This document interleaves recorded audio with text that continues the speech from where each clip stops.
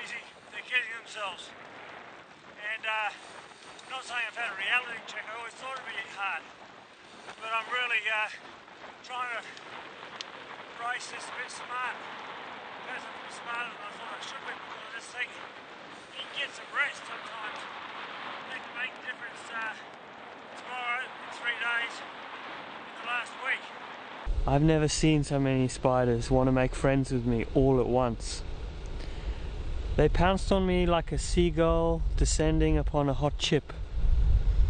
It was a fantastic moment. Don't plan on the little niggles, the little injuries, the tiny little the toes, the below the kneecap.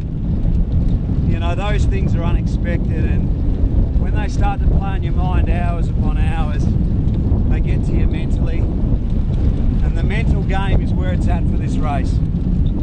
And if you crack mentally on little things like that, you know, it can be the end, you know. So you just The wind yesterday was a bit bad going down to Norseman, so I just stopped in, uh, what's it called, Widgiemooltha.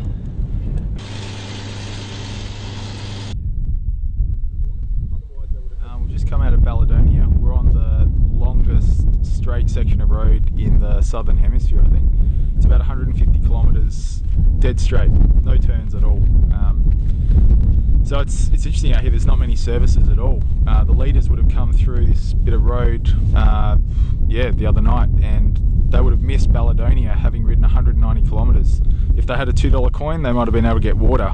Otherwise, they would have had to push on to Caiguna. That's 370 kilometres without anything except for maybe some water if they were lucky. i'm trying not to think about how much my ass hurts.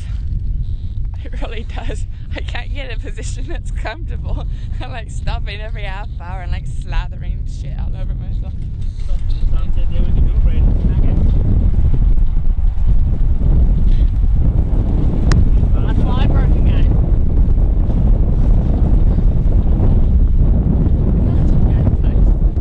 Alright, thanks mate.